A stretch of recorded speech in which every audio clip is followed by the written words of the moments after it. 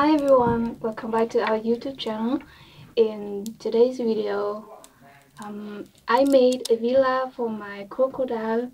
Um, you know, it's been a while that I have made a house for my pet. So today I built this house and do you think it's cool? Uh, please let me know what you think in the comment and don't forget to like and subscribe to see more video coming up. See you next time. Bye bye.